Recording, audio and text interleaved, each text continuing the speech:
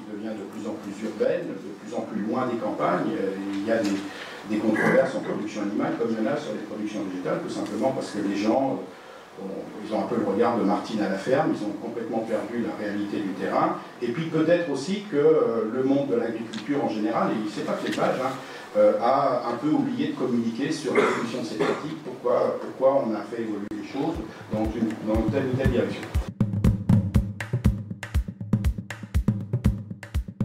C'est beaucoup sur les conditions de vie des animaux, leur, logement, euh, l'accès au plein air. Globalement, euh, dans l'esprit de notre concitoyen d'aujourd'hui, un, élevage qui respecte le bien-être animal est un élevage qui met les animaux dehors. Voilà, ça c'est le premier point, peut-être pas tous les jours d'année, mais il faut que les animaux puissent aller dehors. À nous, en tant que chercheurs, de démontrer que euh, sur des critères objectifs de bien-être, ça améliore les choses, parfois ça peut les empirer.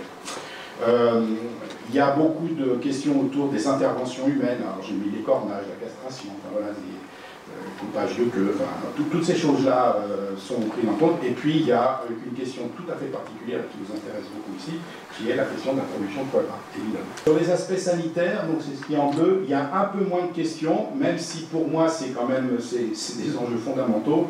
Euh, c'est un peu moins remis en cause par notre société, enfin, la société française, c'est l'utilisation des antibiotiques.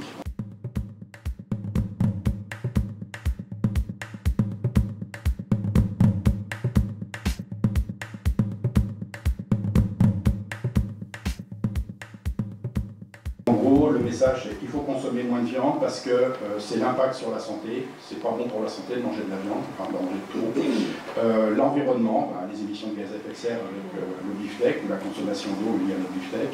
Les considérations de l'animal, considérations éthiques de l'animal. Et puis on revient sur les structures d'élevage, les modes de production. On a aujourd'hui un élevage entre guillemets trop intensif.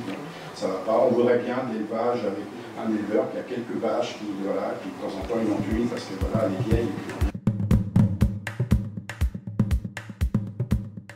On a fait cette étude, il y a quelque chose qui m'a frappé, c'est euh, l'incompréhension qu'il y a entre d'un côté le monde de l'élevage et de l'autre côté les associations. Et je ne veux, pas dire qu'il y en ait un qui a raison et pas l'autre, c'est simplement deux mondes qui ont du mal à se comprendre parce qu'ils ont du mal à discuter ensemble, de fait, ou n'ont pas, pas assez discuté ensemble. Les petits qui viennent de l'école on est sur une commune, enfin sur un canton où on, est à 1000 habitants, donc vous voyez, euh, quelque part, c'est très rural.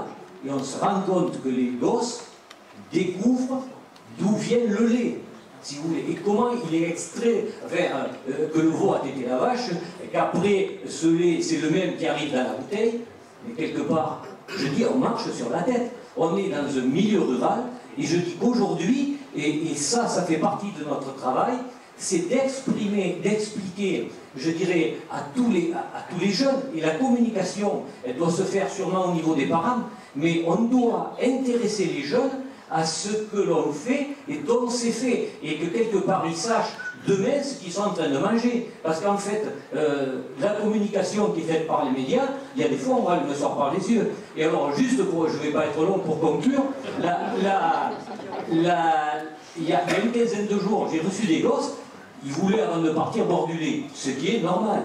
Donc, qu'est-ce qu'on a fait? On a ouvert le tank à on leur a servi du lait.